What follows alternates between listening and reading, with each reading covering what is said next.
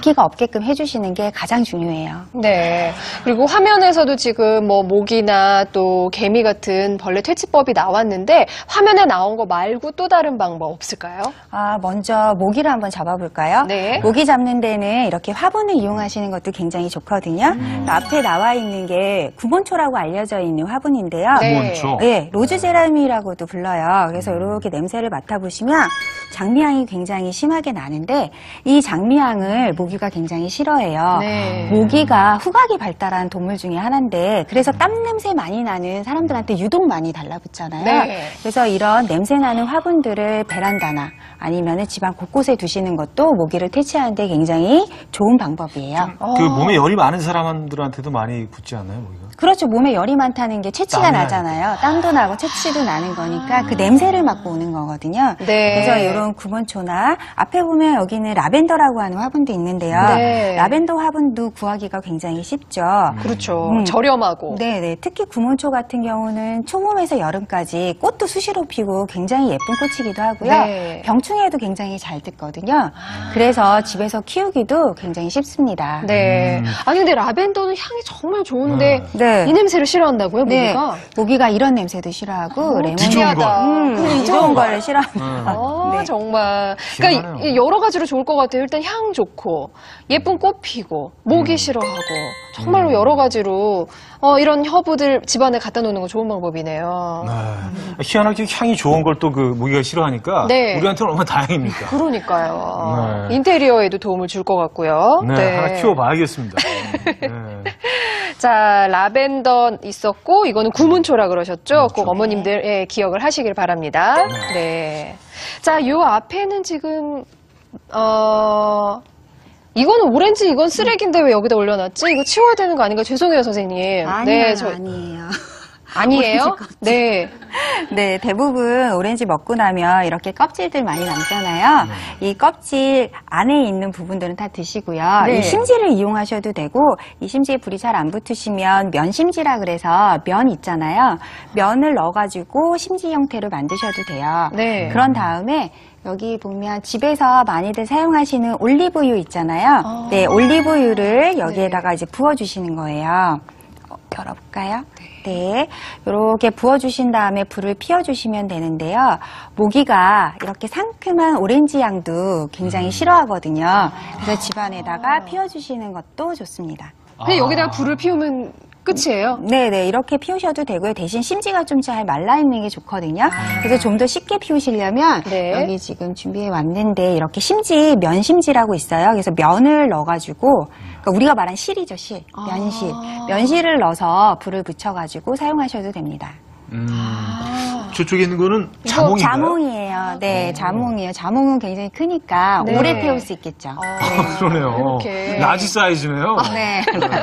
아니, 근데 선생님, 여기 지금 오일에다 뭘 넣으셨나 봐요. 네. 여기 살짝 굳은 굳어있나요? 것 같은데요? 아, 오일도 네. 있고요. 요즘에 파라핀들도 많잖아요. 파라핀. 집에 그 아. 양초 파라핀 같은 거 있으시면 네. 그거 갈아서 넣으셔도 되고요. 지금 이거는 젤리 양초들도 요즘 많이 판매하고 있어서 네. 그거 긁어내서 그냥 녹여서 넣거든요.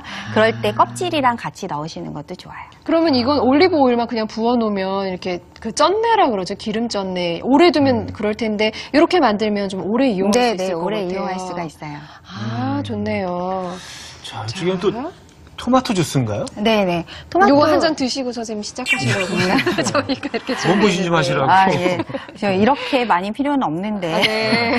사람들이 이제 우리가 토마토 요즘에 많이 나오잖아요. 네. 이 토마토 안에는 토마틴이라고 하는 성분이 있는데 네. 그 성분들도 모기가 굉장히 싫어해요. 그래서 토마토 주스 먹고 난 다음에 아니면은 토마토 즙 아이들한테 갈아주다가 조금 남으면은 이렇게 랩을 좀 씌워주세요. 아. 그리고 나서 이쑤시개를 이용을 해서 구멍을 몇 개만 이렇게 뚫어주세요.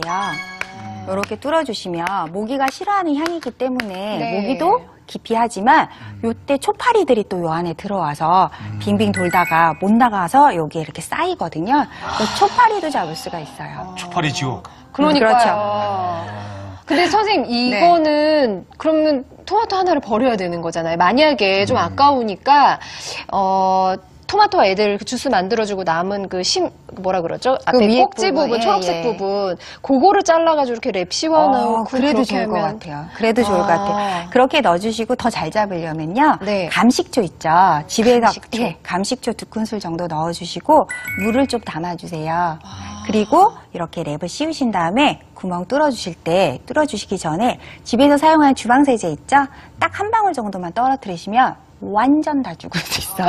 아, 정말요? 네, 네, 네. 아. 초파리들이 완전 쌓여요. 예, 그렇게 사용하셔도 돼요. 그래서 초파리도 없앨 수가 있습니다. 여름에 음식물 쓰레기 네, 요새는 또 꼭 꽉 채워서 한 봉지 채워서 버려야 되잖아요. 그러니까 초파리들이 얼마나 날아다니는지 맞아요. 뭘다 너무 날아다니시죠. 네. 네, 어 이렇게 하면 바로 죽일 수가 있군요. 모기들이 굉장히 예민하군요. 싫어하는 게 굉장히 많은데요. 그렇죠. 까탈스러워요. 사람만 좋아하네요. 그러니까요.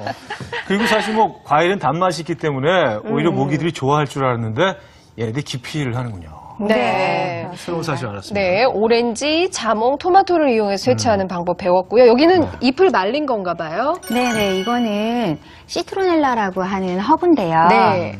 우리 한번 향을 좀 맡아볼까요? 네. 네. 맡아보시면 무슨, 무슨 향이 나는지. 아, 이게 시트로넬라 향이 나는데. 레몬 굉장히 강한 역시 레몬 향이. 나죠. 굉장히 강한 레몬 향이 나는데요. 네. 이렇게 심한 레몬 향도 모기가 굉장히 싫어해요. 아. 그리고 우리가 조금 전에 봤던 그 화분 네. 꽃이 열리면은 바로 이게 라벤더 꽃이거든요. 네. 그래서 이 라벤더 꽃 허브 그리고 아. 집에서 많이들 요즘 쓰실 거예요. 네. 베이킹 소다. 이렇게 세 가지만 있으면은 모기 기피제를 또 만들 수가 있죠. 베이킹 소다도 싫어하나요? 모기가? 아, 그렇진 않고요. 베이킹 소다는 탈취 효과나 방습 효과가 있기 때문에 네. 많이들 사용을 하시잖아요. 네. 그래서 여기에 허브를 좀 넣어주시고요. 이렇게 섞으셔도 상관없고 아, 베이킹 소다에. 음, 베이킹 소다에 아. 허브들을 이렇게 넣어주신 다음에 막 섞으셔도 상관없고요. 지금 여기 보시면 병 위에다가 이렇게 올려놓기도 했어요. 아. 그래서 그렇게 올려놓으셔도 상관없습니다. 이병 밑에 꽉 차 있는 건 음, 그냥 베이킹, 소다예요.